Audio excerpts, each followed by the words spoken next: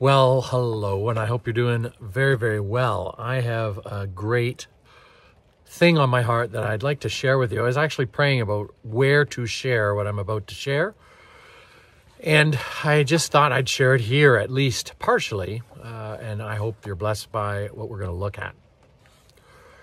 I've been talking, it actually says in the book of Ephesians, it says that there's this very interesting topic. We've been looking at it for a few months, and in different series, I pulled it into things that I've been saying. Talks about the spirit of wisdom and revelation, the baptism of the Holy Spirit, uh, people that are saved and filled with the Holy Spirit. Paul said to the Ephesian church, Now this is what you need. You need to have this as well.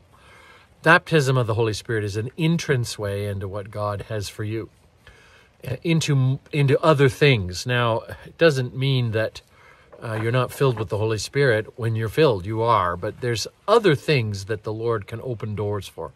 What it actually says about this, when it talks about the spirit of wisdom and revelation, there's some, in a way, interchangeable uh, themes in the Bible. This is interchangeable with talks about the spirit of glory, or the resurrection power of Christ, or the spirit uh, of holiness, often those are interchangeable, or at least they fit together. Many times it almost blurs where one begins, one ends. Sometimes it's interchangeable. It's only interchangeable because the Bible actually uses them interchangeably. So when we look at this, there's a little, it's not some great feat to try and explain this. It's actually very, very uh, uh, out there in the Bible. A lot of the passages of the scripture that are harder to understand many times in the New Testament, it's on this topic in particular that it would be uh, you see. I want to just show you something here. 1 Corinthians 2 7, it says that uh, you that you would have the spirit of wisdom and revelation from the Holy Ghost so that you may know him better. It's a doorway of relationship. There's a way to get to know God better. We can often come up with our own way of how we get to know better one of the cool things in the Bible is the Bible doesn't say, you know, you have to take a wild guess. It actually tells you what you need to get to know him better. For those of you that know him, it actually gives you this as this incredible statement so that you receive it so that you may know him better. So it's interesting if you want to grow in your relationship with the Lord. Sometimes you're like, have I heard from the Lord? Have I not heard from the Lord? What am I to do to know him better? You don't really need to hear prophetically from the Lord here. He tells you in the Bible, he he opens this to you, and it's a doorway of relationship to receive this with Him, so that you may get to know Him, the Lord, better. So. 1 Corinthians 2 7 says, But we speak of God, wisdom in a mystery, having been hidden, which foreordained God before the ages for the glory of us. Now, what's interesting here is this topic. It always inserts these things together. You'll see them. Which none of the rulers of this age has understood. If for they had understood it, not the Lord of glory would they have crucified. So you see there's a spirit of wisdom in Revelations in Ephesians. This picks up on it. It says, but we speak a wisdom of God in a mystery. So that's what it says in Ephesians there's when it talks about a mystery or things that are hidden by unless you see them by revelation this it says is the topic. That's what it's referring to when you see this in the bible the new testament uh, and then it says it has been hidden which foreordained god before the ages for the glory of us. So god the glory of us this is the most one of the most incredible statements i think in the new testament that you wouldn't expect. There's lots of incredible statements you expect there's some that you don't expect. The, the glory of us is not something most of us would think would be in the Bible. So when you get to know him better through the doorway of relationship, it's for the glory of us. That's what it means. It restores us. There's a restoration of what God had originally intended for human beings. You don't want to be left out of that. That's the real question. Do you want to be left out of that or not? You don't. You don't. You want the glory of us. Uh, uh, to be revealed for our glory, what God has intended. Because really, once that happens, it does bring Him glory. He, he's the only one that can restore it. He's the only one that can bring it to you. James 1 5 says, and then this is the tie in if any, if now any of you lacks wisdom, let him ask from the one giving, God, to all generously and not finding fault, and it will be given to him or her. Now, the NIV reads it this way, a little simpler. If any of you lacks wisdom, you should ask God who gives generously to all without finding fault, and it will be given to you. So when you talk about the spirit of wisdom and revelation, it then says, if you lack wisdom, let the person lacking ask God, uh, and this is interesting. And in the direct translation of the Greek, it says this to all generously and not finding fault is how he gives. Many times when we approach God, we think God will show me what's wrong with me there there can be times where the Holy Spirit absolutely kind of shows you something you need to change. We call that conviction. But I think it's highlighting this because it's saying our expectation is we're going to be in trouble. It's not because necessarily you need to be convicted of something. God's going to give this to you without finding fault. That is very important to see on this topic. There is something here that is very important to understand because how you receive isn't just feeling bad about yourself. And it's put here for a reason. If it's in the Bible, it's not mistaken. They, they meant it to be here.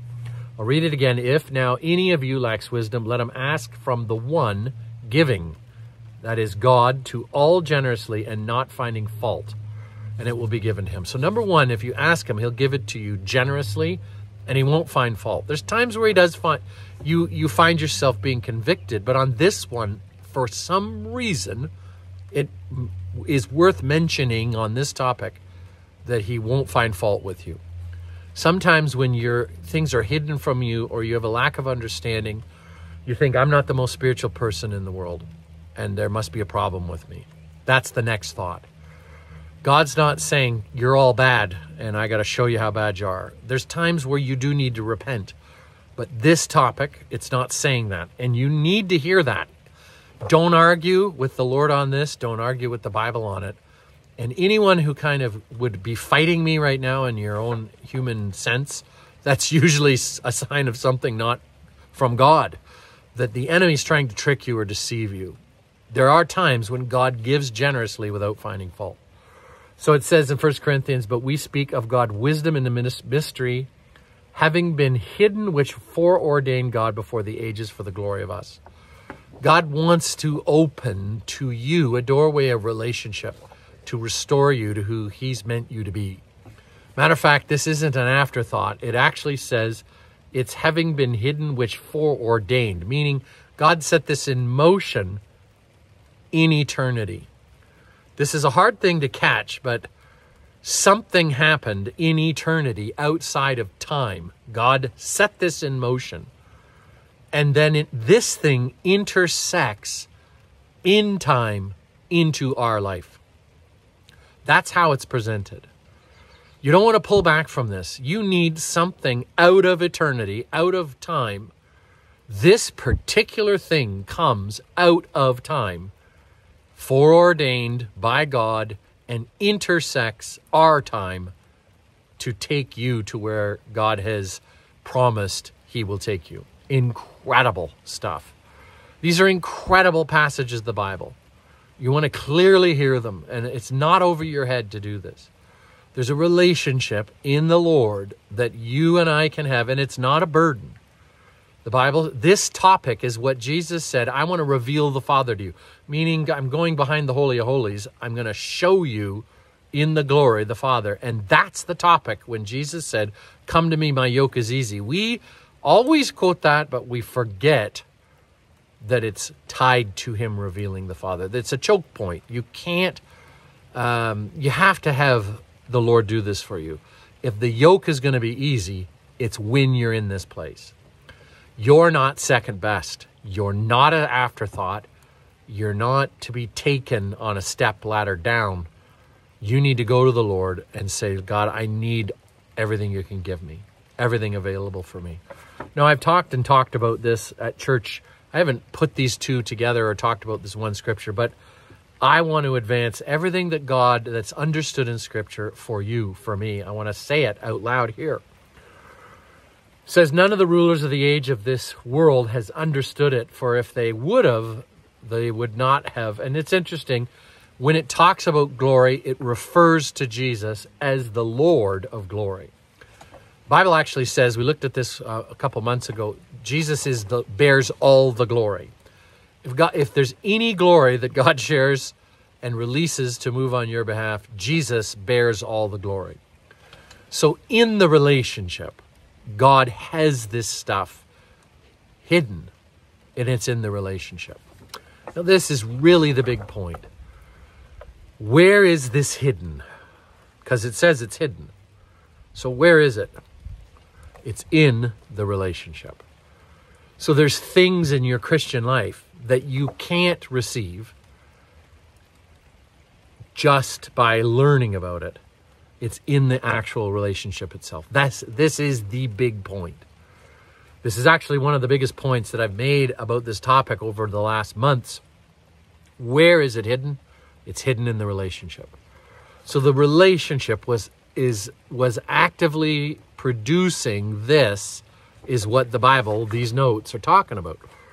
The notes are simply saying in the scripture, it's telling you where this is hidden and God will give it to you. He he it's not just that there's an advance promise that you'll get it, but it's kept hidden in the relationship. If you go if you come, no one comes to the Father except by Jesus. So only by knowing Jesus does uh, this is a doozy do you get in here. But beyond that, we all know that as Christians. But what we don't know is where this is hidden is in the relationship. So you can know the truth but not have the relationship. And that is very important. The Bible says faith comes by hearing and hearing from the word of God. You can you can have somebody nowadays when we hear the word hearing, often it doesn't mean we're listening. I heard you. Yeah, yeah, I heard you. The Bible says that word hearing is listening. So you don't have faith unless you listen to what you hear. And what's important here is it's the same con it's the same context or concept. You can hear what the Bible says, but not hear it and listen. So the Bible says faith only comes not because someone's given you the doctrinal information. You can have all the information in the world. You, I know people who are experts in the Bible, PhDs working in seminaries who don't believe that Jesus is the Son of God. Doesn't do anything so you can have knowledge, but without the relationship, you have to re- to relate to this. It has to occur in the relationship. That's what the promise is. Once you're filled with the Holy, what's the first step? Number one, be filled or be baptized in water.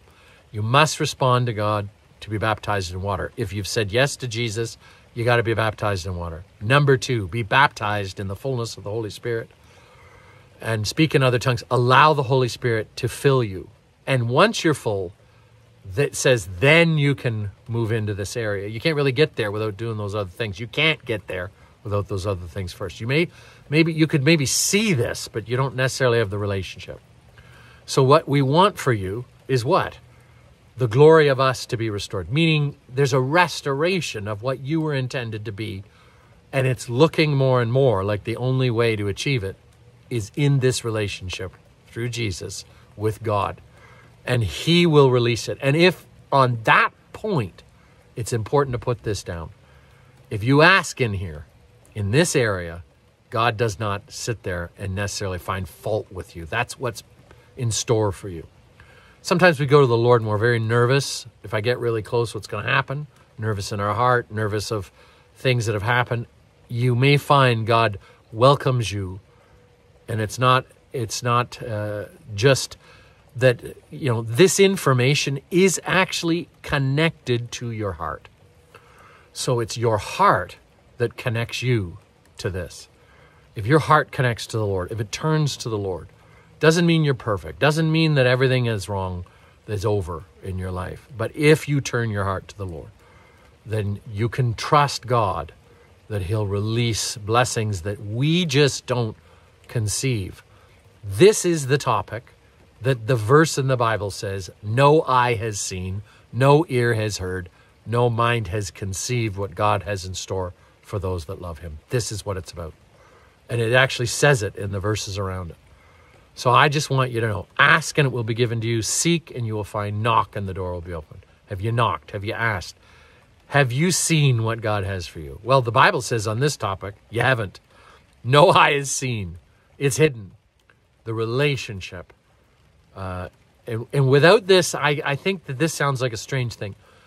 These days in which we live, without this, they're all, you almost need it to make it. To blossom as a Christian in these days, it's imperative to go all the way with the Lord where He's taking you. You don't want to just stop halfway. I am preaching right now. My hands are coated. This is interesting. I was uh, not barbecuing, I was bonfiring today. I have some very old wood. It's actually so old at my house. When I moved into my house, somebody had this wood stacked beside the house. And uh, Elizabeth said, I think the old, old, old wood needs to go. So I was like, I put it on the bonfire and I couldn't light it for all I was worth. I was finding pine cones and I was like putting them all over the wood to get something going.